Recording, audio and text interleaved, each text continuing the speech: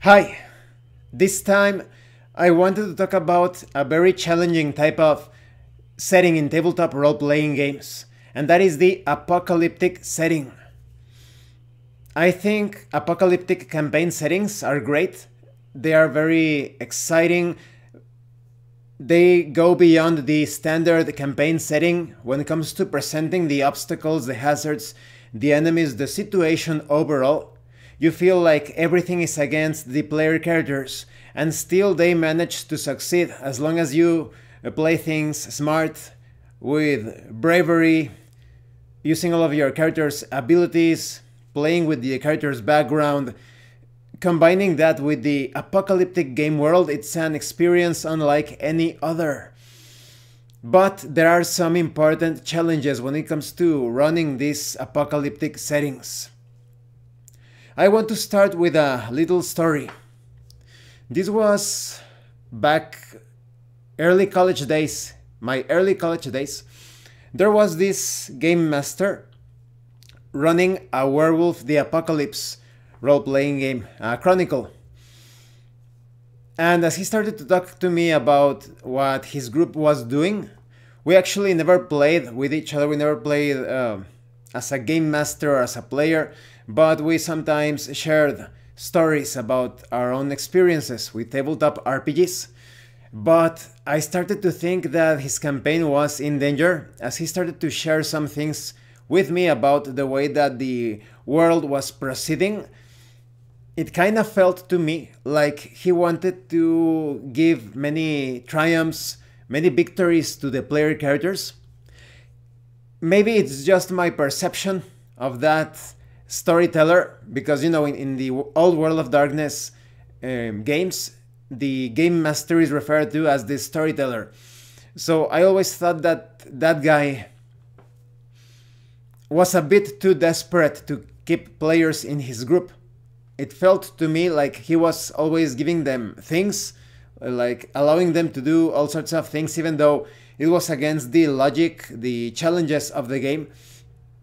It's kind of like those people that start to give out experience points and magical items and artifacts, but not because it makes sense with the story that is being created through the interactions with the game world, but it's pretty much a way of bribing the group to stay in that game. The the players are being bribed so that they won't leave the campaign or chronicle or whatever.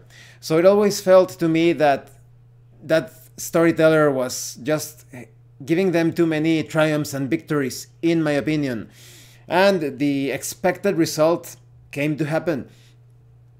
They actually solved the apocalypse. In Werewolf, the apocalypse, in some way, the group managed to obtain a balance between the Wyrm, the weaver. I think that's the name in English because I played Werewolf the Apocalypse in Spanish, eh, Hombre Lobo el Apocalipsis, and you call it La Tejedora in Spanish, but I think it's the Weaver in English. And Gaia, there was this balance finally. So the world basically became some sort of paradise. And that was the death of the Chronicle. The storyteller didn't know how to proceed with that. So the group fell apart. There were no problems, no challenges, no great evil to defeat, no greater problems so that's I would I would say the major challenge in apocalyptic settings. The first challenge perhaps that if you manage to stop the apocalypse, what now?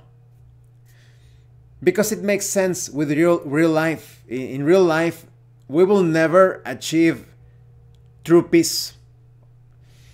We must strive, yes, obtain, strive towards obtaining harmony but that that will never be possible. It's something that you want to achieve all the time because it's a constant struggle. We see this even in the birth of a child. Just take a look at all of the things all of the bad things that could happen to a sperm while it is making its journey. It's always a struggle a fight a challenge. And an apocalyptic setting is this and so much more. It is the greatest of challenges within the game world so if the player characters solve any apocalypse, any calamity, catastrophe, That's it. We will talk about a few ways to handle that in, in a, to rescue the setting in a different way in a few moments. But yes, you are pretty much taking away the essence of many role-playing games and settings in that way. In the old school games, Old World of Darkness, you have pretty much every game in that line is based around some sort of apocalyptic event. Vampire the Masquerade, Werewolf the Apocalypse, Hunter the Reckoning. In more recent times, we have uh, Demon Gate. This, this couple of settings for Dungeons and Dragons 5th edition, very good settings. Uh, the new edition of Midnight, the Nightfell setting, Although there are some, some differences, I think the Nightfell setting is a bit more optimistic when compared to Midnight. In Midnight, most of the world is evil. It's not exactly apocalyptic because evil is ruling supreme, but because evil is taking over everything, that eventually will lead to the destruction, self-destruction of the planet itself, of the world. But when it comes to Nightfell, the sun has been murdered, but there's still a lot of pockets of resistance and most people, even some monstrous beings, are actually trying to fight the darkness because they have identified that there is a complete lack of balance, a complete lack of harmony. Even vampires in that setting feel like everything is going to end up destroyed if things continue like that. So yes, in, in that regard, you can see that there are still some variations when it comes to the level of bleakness or hopefulness when it comes to apocalyptic settings. But yes, it's a very dangerous thing to take away the thing that makes the setting post uh, sorry apocalyptic. We'll talk about a, a different type of, of post post apocalypse in a few moments. Imagine that in Nightfell suddenly the sun was resurrected. The sun basically was murdered in the past, so now the characters find some way to resurrect it, and now it's no longer a world of darkness, a, a of complete darkness. Now there is light and everyone is happy now, and that's that kills the setting. It's going to turn into a different type of fantasy instead of dark fantasy or apocalyptic fantasy. The same could be say uh, set of night midnight. If you kill Izrador and you destroy or purify those that were tainted by him, that's the end of midnight. And so forth, it applies to any setting. So you could be thinking, well, that's uh, very difficult. How can you, how can you run those apocalyptic settings? I think my, my personal advice is that you should obtain minor victories in your campaigns. Even at the conclusion of a campaign, it must feel as if you have completed a single piece of the puzzle in order to solve the problem that is causing this apocalypse. And that's the error of many people, in my opinion, when it comes to running apocalyptic settings. They want to solve everything at once in a single chronicle, in a single campaign. And they kill the setting, that's it. There is no longer this huge, colossal threat that is causing the apocalypse, no cataclysm, no insane calamity. So now it turns into a, into a completely different experience. So I would recommend that each campaign or chronicle should be handled as small triumphs, perhaps an, an entire campaign focused on defeating one of the major villains, but not the major villain. It's also a good idea to explore the different perspectives of the of many different characters throughout the game world you could handle different smaller victories like that. In campaign number one, you have this group over here in this region, and they are fighting this villain over here, and that's the entire the all of the plotline follows that particular thread. And in this other region or zone, you have this other group that is trying to stop this sort of miasma or calamity from advancing, and that's the entire thing about that campaign. They want to stop this threat, this sorry, this threat in that particular story thread. So I would recommend smaller victories eh, with campaigns featuring different parts of the game world.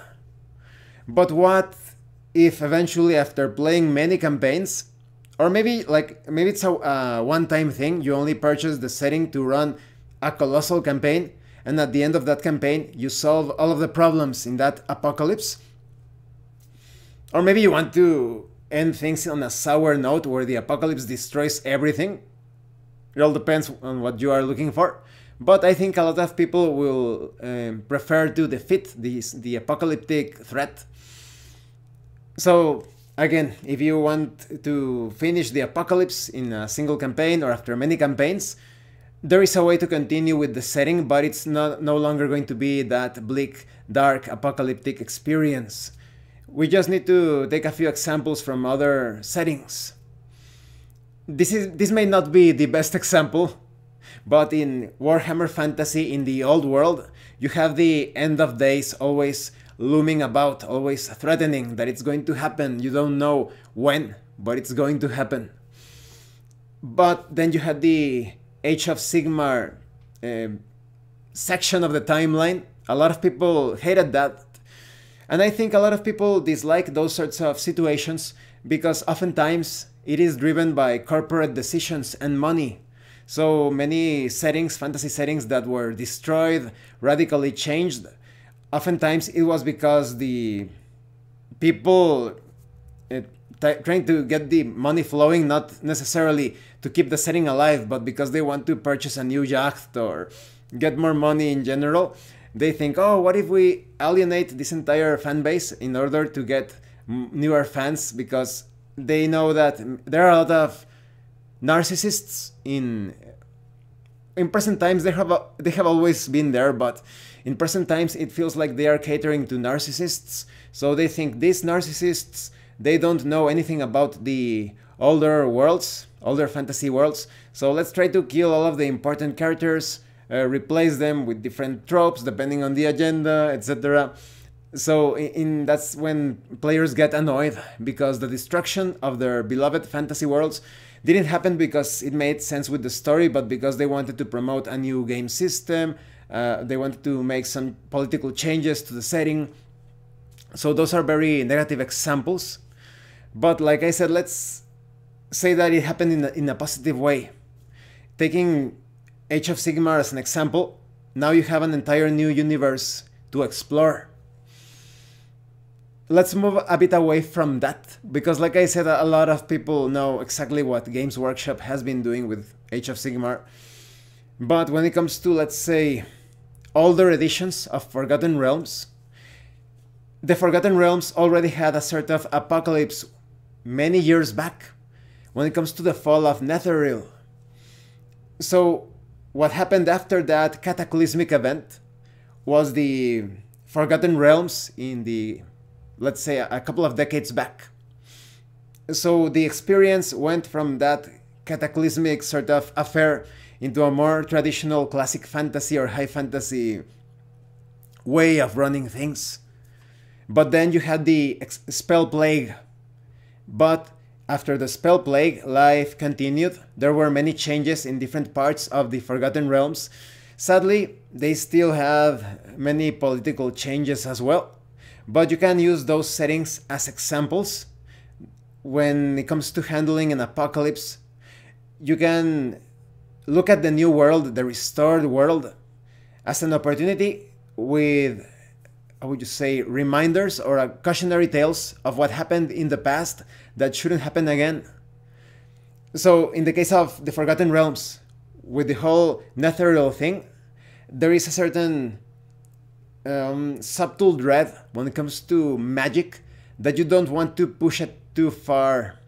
You don't want to uh, carry out or handle an, an exploitation of the weave of the basically the magic the everything that makes magic possible and thanks to mystra of course the goddess of magic you don't want to take things too far, you don't want all of the magical power for yourself. Even the villains in the setting know that there is a risk because they rem rem remember, sorry, they remember what happened to Netheril. And when it comes to the spell plague, there are also some important lessons to be learned. So if you want to play an apocalyptic setting, you can use those settings as examples. Let's say that, for example, uh, you want to the Nightfell setting to have a sun again. The sun was restored or resurrected. But perhaps some of the darker beings are hidden in some of the more yet less explored places of the world, and they are always ready to strike. So perhaps you want to run a campaign with a specialized team of characters that are making sure, always vigilant, that those monsters aren't going to attempt something similar to the destruction of the previous sun. So it's all about taking the cataclysm from the past and place it as a subtle threat. So as you can see, there is still a way to salvage or rescue a campaign, an apocalyptic setting where the apocalypse has already happened, but the heroes save the day. Handle it as a cautionary tale that is uh, perhaps coming back eventually. Maybe not only is the sun once again destroyed, maybe now the setting is even darker. You combine aspects of midnight with nightfall, and not only is the world in total darkness, now there are even less um, hopeful or heroic people or virtuous people because like just like in midnight the characters are completely dominated by the mind or the tyranny of some greater being. Like I said, the differences are quite noticeable. That's why if you want a more hopeful yet bleak experience, go for, for Nightfall. If you want really bleak, uh, almost hopelessness, but that gives you the opportunity to be even more heroic because you need greater lights to shine in an even darker setting, then you can choose to play Midnight. So I think those, those are my general thoughts on apocalyptic settings. As general advice, if you want to play the setting constantly, if you want to have many adventures, campaigns, and the like, handle things with smaller triumphs, smaller victories. You don't want to defeat the source of the apocalypse. Just some minor victories from different regions of the game world.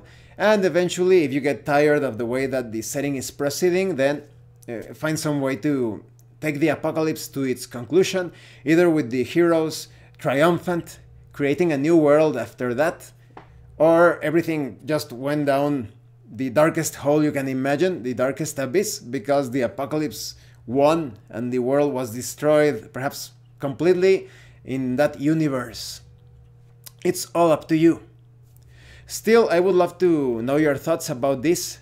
Do you like to play in apocalyptic settings? Do you do you run apocalyptic uh, sorry apocalyptic settings or do you participate as a player character? What is your perspective on things as a game master as a player character? And maybe you have some other tips and advice on how to run these settings. So let us know in the comment section below. Thank you for watching this video and thank you for your likes and your comments. If you have any other questions or comments, please let me know. And thank you so much to those of you that are going the extra mile to support the channel. If anyone else wishes to further support the channel, the information on how to do that will be in the description below. Once again, thank you, and see you later.